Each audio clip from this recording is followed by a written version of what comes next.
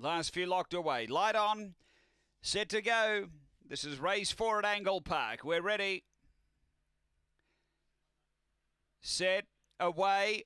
Even line out, speed out deep from Nipazar, pushing on, railing up Zabansky Fury's going to hold it early. Zabansky Fury leads from Nipazar and then Gemanismo improving quickly. Next, McLaren Dazzler. They were followed behind those then as they race to the back by Vontae Mack. Uh, then Allegra well back with Springvale, Georgia and Turazigi down the back and railing up here. Gemanismo getting up underneath Zabansky Fury and kicks away the leader. Then came McLaren Dazzler. Next, Vontae Mack, but up to the turn and it's well clear. Gemanismo. It's tearing away for a big win. McLaren Dazzler to second, but Gemanismo won it well.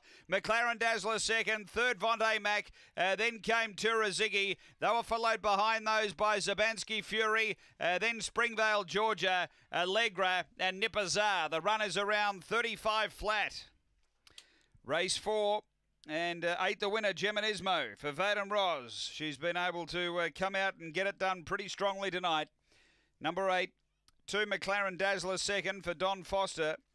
Third going to four Vontae Mack for Ben Rawlings. Numbers are eight, two, four, seven, fourth after race number four of the night here at Angle Park.